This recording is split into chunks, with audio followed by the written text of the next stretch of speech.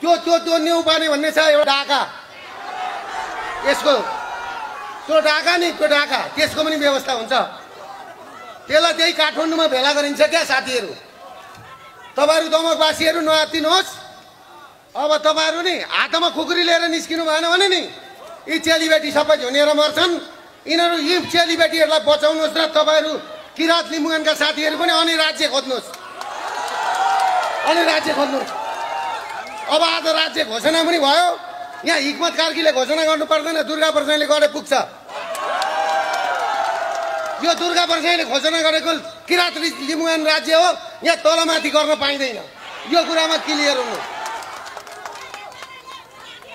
तपाईँहरू एकजुट भएर अब घरमा घरमा एक रुपियाँ पैसा अहिले कसैको नतिर्नुहोस्। किन नतिर्नुहोस् भनेदेखि नि? अँ। दल्नुहोस् दल्नुहोस् अब अब अब रोकेर नहुने रहेछ यहाँ कुरा के भयो भने अस्ति मैले कालो मोसो उ गर्दाखेरि तपाईँले आतङ्क मचाउनु भयो भने क्या?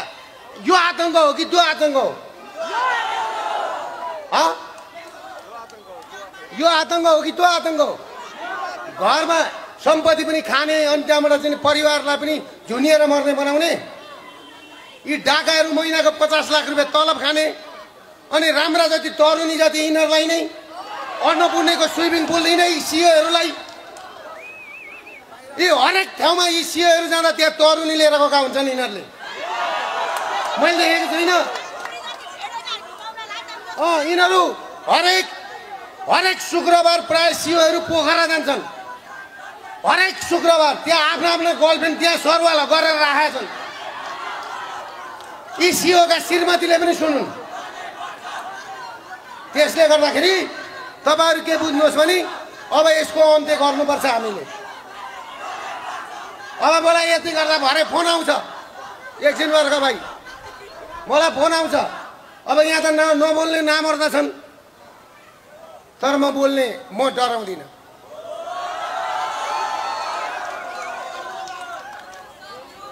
तपाईँहरू पिर नगर्नुहोस् है।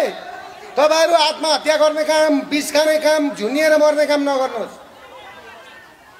यहाँ बेलुका भएपछि के हुन्छ भने नि?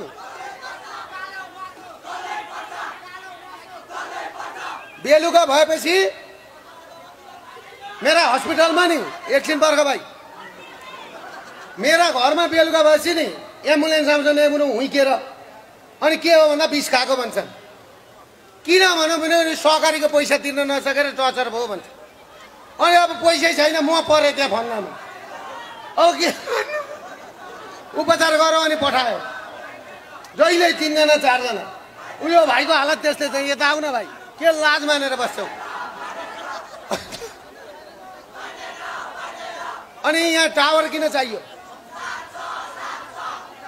र त्यो भन्दै अब एकछिन भाइ। तपाईँहरू दमकवासीहरूले एनआइसी एसियाको ब्याङ्कको म्यानेजरलाई समाउने के गरेको यो भन्ने? मुक्तिनाथ होइन जम्मैमा। वैशाख दुई गतेदेखि त जम्मैमा तालै लाउने हो। तालै लाउने हो?